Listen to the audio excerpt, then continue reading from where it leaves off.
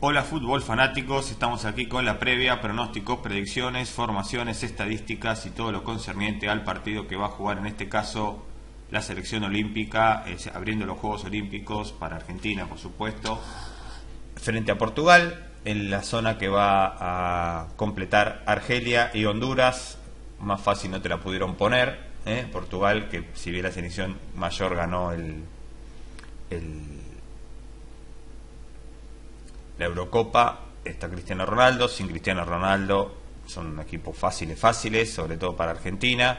Está bien que Argentina no las tiene todas consigo porque no tiene técnico y bueno, ya, ya no poner no poner al mejor jugador argentino que es este, este chico Pavón para jugar ya te denota que hay un error clave porque tendría que ser ese chico y 10 y diez más, pero bueno, este, evidentemente no están mirando otro, se ve que ven el fútbol, no sé qué, fútbol ven, porque Caleri está jugando en, en, San Pablo, pero tampoco la está rompiendo, es un, jugador que la está rompiendo, sin embargo Correa no juega, así que, pero bueno, así como es Argentina siempre tenemos esos problemas, ¿no? el técnico que pusieron no, por ahí va a ser buen papel, porque los jugadores son buenos, pero bueno, es un técnico que se le complica, ¿no?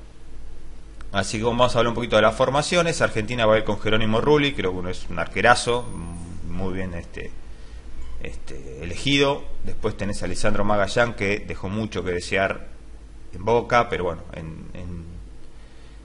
el otro equipo que jugó en Defensa y Justicia anduvo bien, pero no, no sé, me parece que también tiene mucha experiencia, pero ese es uno de los jugadores con más experiencia acá del, del plantel, pero bueno, veremos. Lautaro Gianetti, Víctor Cuesta, Alexis Soto. José Luis Gómez, Santiago Ascasíbar, Mauricio Martínez, Cristian Espinosa, Ángel Correa y Jonathan Caleri, Julio Larticoechea, igual para jugar contra este, esta zona.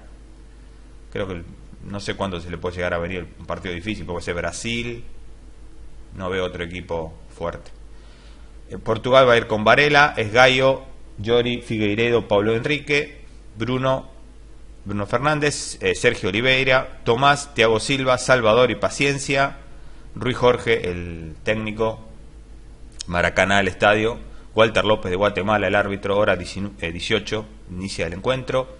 Bueno, creo que Argentina no va a tener ningún problema en ganarle, aunque no tiene técnico, igual le sobra, los jugadores creo que se pegan la charla técnica ahí antes de empezar, algún juego que tenga un poco de experiencia y, y ya se le ganan el partido entre 2-0 y 3-0. Yo veo un 2-0 cómodo para Argentina, de ahí para arriba. Por supuesto, Jonathan Caleri, el que más posibilidades tiene de marcar. No veo ningún problema en la primera fase. Los jugadores sobran en cuanto incomode el equipo y ya digo, lo ponga este chico eh, Pavón, que es, juega igual que Draxler en Alemania, un jugador por, por, por los costados, sobre todo por la derecha, es imparable y cuando encara por el medio también Así que creo que sería clave ponerlo para ya ir fogueándolo, porque es un juego que tiene que jugar en la selección mayor, urgente.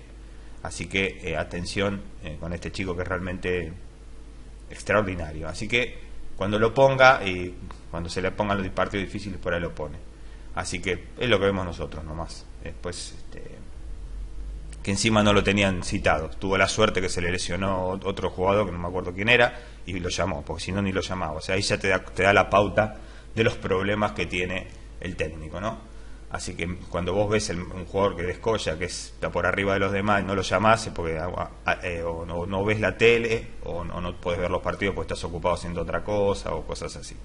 Así que bueno, nada más, eh, no hay ningún problema para que gane Argentina. Con respecto a los porcentajes, 70% triunfo argentino, 20% para el empate y 10% para el equipo portugués que ganado la Eurocopa y ya por 50 años no gana más nada, salvo que, bueno, que, porque el Mundial se le va a complicar porque depende de Cristiano Ronaldo y este equipo que Thiago Silva puede, puede andar, pero después lo demás.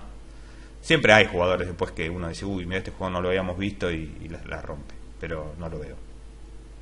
Un, jugador, un equipo, por supuesto, que se va a defender, como Portugal, como lo hizo en la Eurocopa, y va a ver si puede meter un contragolpe. Pero Argentina en este equipo tiene la defensa esta a pesar de que sean jugadores desconocidos, es mucho mejor que la del equipo de la selección mayor, ¿eh? y un arquero realmente que, que te puede salvar partidos, no el otro que se los pierde los partidos directamente. Así que creo que esta selección, por lo menos la línea de cuatro, es muy superior a la línea, al, a la, a la de la selección mayor. Así que bueno, es lo que vemos nosotros. Comenten, compartan, abajo están las vías de comunicación. No se olviden de ayudar, los que saben y los que no me preguntan por el Facebook personal. Así que bueno, nos vemos. Enormes gracias, abrazo de gol para todos.